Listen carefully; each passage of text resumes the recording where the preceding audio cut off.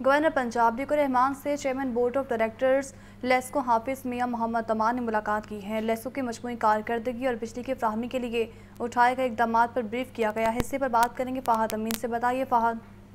आज बिल्कुल। गवर्नर पंजाब बलीगुर रहमान से chairman board of director LESCO Hafiz Mian Mohammad दमान की क्यादत में बोर्ड मेम्बरान और लेस्को अफसरान के वक्त ने जो है वो मुलाकात किया है। मुलाकात में लेस्को लाहौर की मजबूरी कारकर्दगी और आवाम को बिला तातुल बिजली की फ्राहमी के लिए उठाए गए इकदाम पर तफसीली जो है वो ब्रीफिंग दी गई है।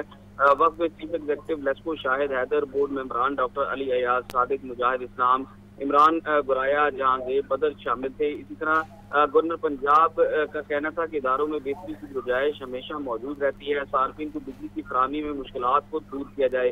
मुलाजमन की तरबियत का अहतमाम किया जाए कि वो सार्फिन के साथ कुछ इखलाकी से पेश आए। हुकूमत बजट में तनख्वाहदार तबके और आम आवाम को रिलीफ देने की भरपूर कोशिश कर रही है। इस मौका पर चेयरमैन हाफिज मियाँ मोहम्मद नुमान का कहना था सार्फिन की शिकायत के जाले के लिए खुली कचहरियों का इनका किया गया है। अब तक पाँच हज़ार अफराद की शिकायत का अजाला किया गया है। सरकारी महकमों से सात अरब रुपए और गैर सरकारी शुक्रिया, फहद अपडेट करने का।